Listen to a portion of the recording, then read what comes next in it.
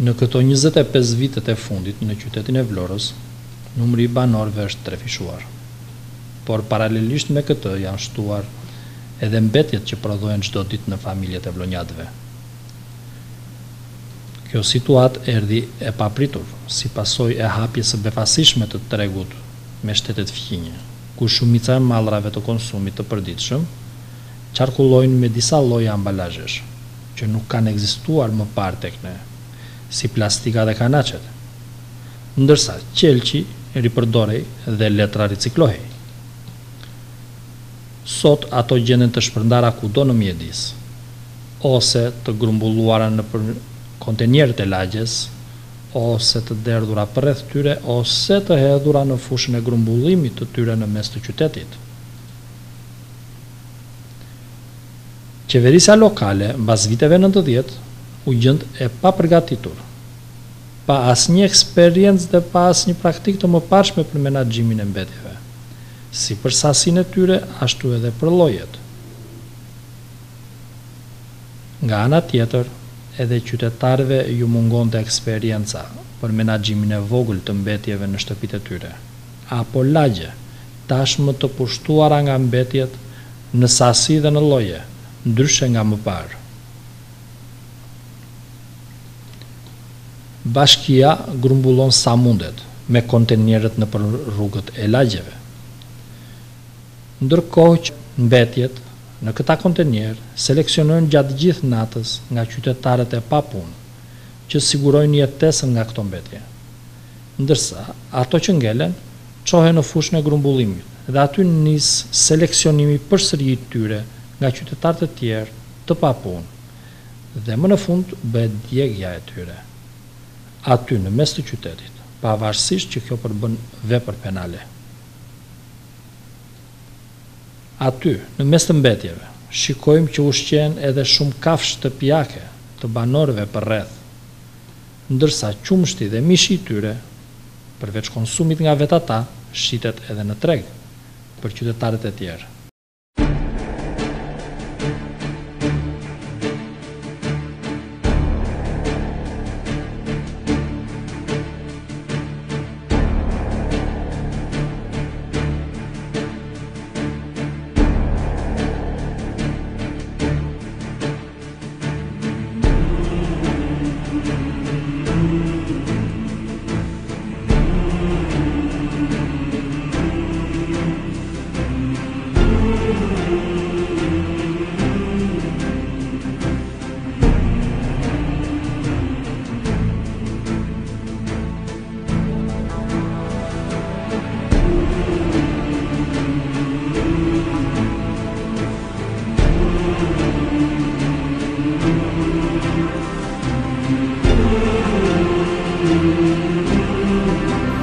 Banorët e kësaj zone janë të destinuar të thithin gjatë gjithë kohës ajrin me tymin e mbetjeve që digjen aty, përpara shtëpisë së tyre. Revolta dhe zëri i tyre janë dëgjuar nga pushtetarët vetëm nëpër fushata elektorale, siç shprehen ata. Dhe asgjë nuk ka ndryshuar deri tani. Jam banor i lagjes këtu njëzet e katër maj, banoj këtu me familje, kam marrë kam një çupë të sëmurë, s'i hap dot shpitë Se vjen era kancer i gjallë. Pse? Pse se këtu janë të pa ashtu fare, pa mëshirë fare i vënë vet, vetes flakën këtu. Janë njerëzit tinëz, digjen mbeturinat, natë për natë. Kjo po vazhdon çdo vit. Thonë këta kryetari i bashkisë, erdhi kryetari i bashkisë atëherë kur për votimin për këto do t'i heqim, do t'i bëjmë, ka premtoj as s'e vënë ujin në zjarr fare. Shumë problem, shumë kancer i gjallë.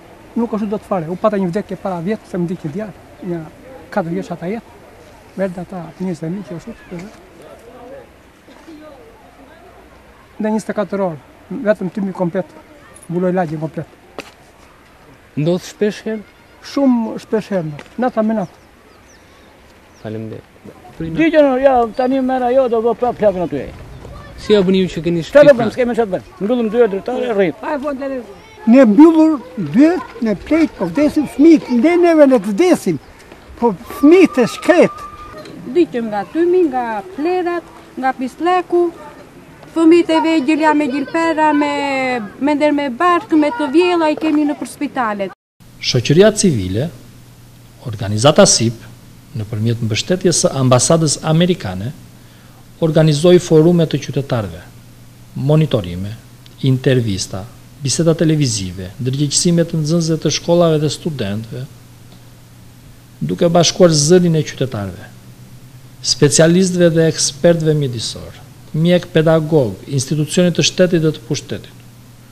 ku të gjithë shprehën të njëjtin shqetësim. Mbetjet urbane përbëjnë rrezik shumë të madh për jetën e qytetarëve të Vlorës dhe jo vetëm.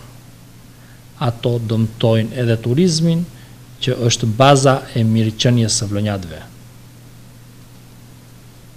Duhet patjetër të gjejmë së bashku mënyrën e duhur për menaxhimin e duhur të mbetjeve urbane, dhe nga plehra t'i kthejmë ato në vlera. Menaxhimi i mbetjeve urbane ka qenë dhe mbetet akoma një problem. Pa një sensibilizim të mirëfilltë të qytetarëve të Vlorës, duke filluar nga fëmijët, nga nxënësit e shkollave, nga studentët, nga pedagogët, nga gazetarët, nga televizionet, A nuk ka mundësi të korrigjohet situata e rëndë që është në Vlorë? Me një fjalë, situata e tanishme është që, siç e thash dhe më parë, mjaft e rëndë dhe e patolerueshme.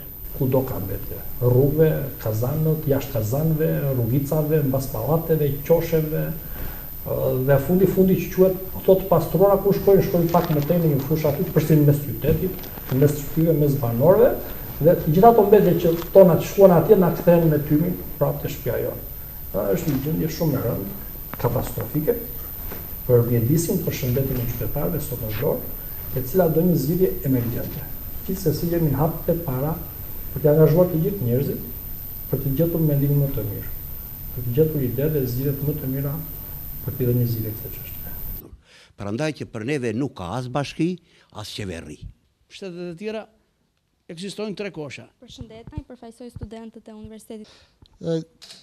Unë ndjej një një keqardhje të madhe, domethënë që shumë përfaqësues të pushtetit vendor që Se Vlora nuk është kjo që ju shihni.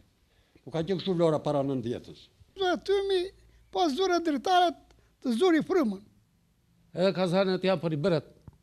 Për volumin e mbetjeve që ka Vlora dhe për perspektivën që ka Vlora është sistemi i landfill. Pra që ndikimi i mjedisit mund të shkurtojë jetën në disa vjet dhe asnjëri nuk mund të kuptojë se sa është shkurtuar jeta e secilit nga ne, por. Shumica në Këshillin Bashkiak janë mentalitet të vjetëruar, janë nga tre katër mandate dhe do thoja është tetëdhjetë për qind gabimi i politikës që Vlora është në këtë situatë në cilën ne jetojmë. Sepse rastet e sëmundjeve të kancerit dhe të tumoreve janë shtuar, sot dëgjojmë raste fëmijësh me tumore që vdesin. Të kërkojmë të gjejmë rrugë zgjidhje se si ato të menaxhojnë më mirë për ta eliminuar këtë si problem.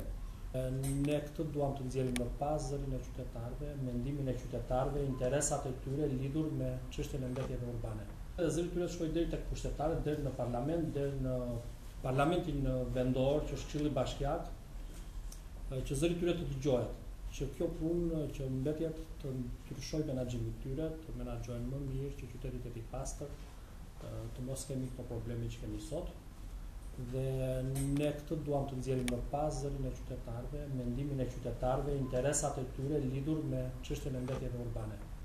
Dhe zëri i tyre të adresohet dhe të dëgjohet nga pushtetarët. të paktën nga pushtetarët vendorë që janë vendimmarrësit e drejtpërdrejtë, por dhe nga pushtetarët qendrorë. Mënyra e duhur është ndarja e tyre në burim, aty ku ato prodhohen, në shtëpinë tonë.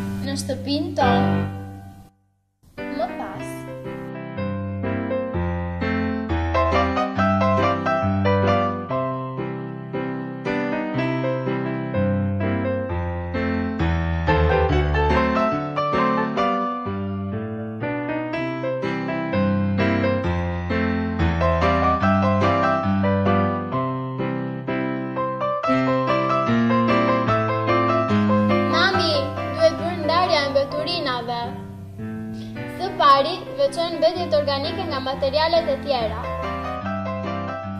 Ato hidhen në qeskën e zezë, te koshi që mban ti në duar. Së dyti, në një qeskë blu hedhim mbetjet plastike, qelq e sende metalike dhe e vendosim këtu në dollap. Më pas, në një qeskë të verdhë hedhim ambalazhe prej kartoni.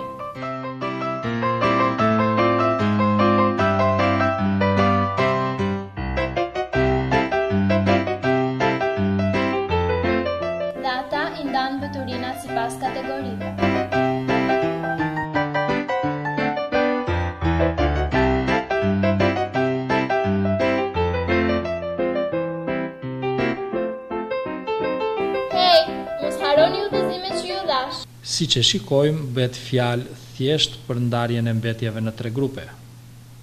Duke nisur nga mbetjet e zakonshme dhe të përditshme, që janë mbetjet organike.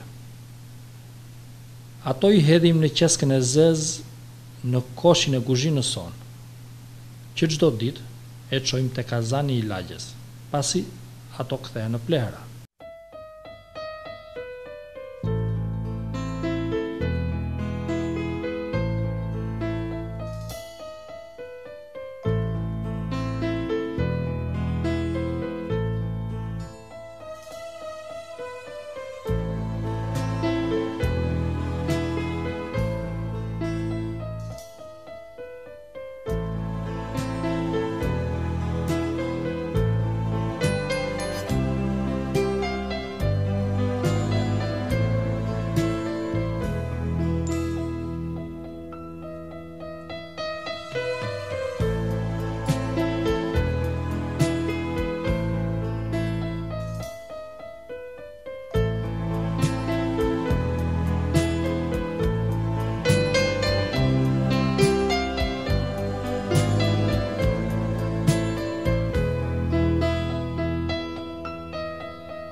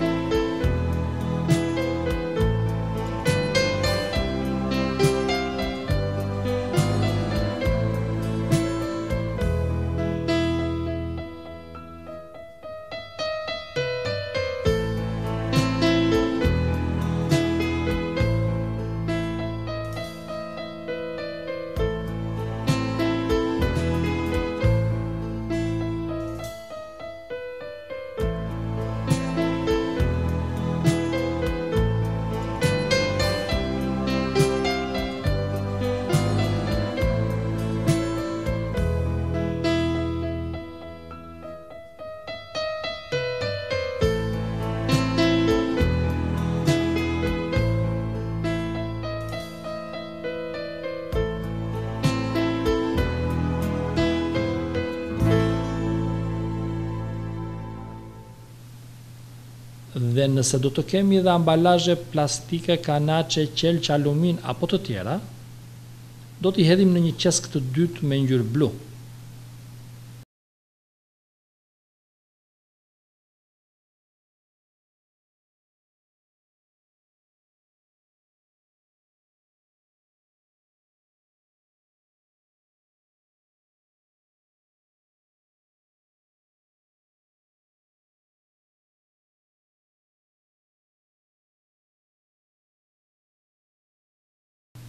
dhe nuk është e domosdoshme të kemi kosh për këto dhe as të hidhet çdo ditë në kazanin e lagjes, sepse këto nuk janë plehra dhe nuk ndotin.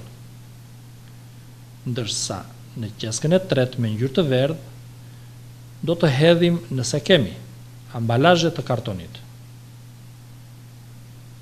Le të shikojmë një demonstrim të këtij modeli në një familje të zakonshme të improvizuar.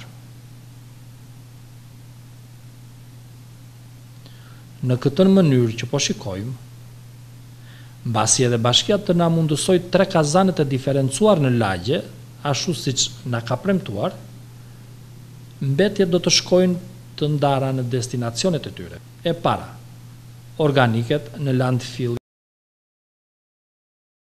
do të përdoren për prodhim energjie ose kompostim ose për lëndë djegëse.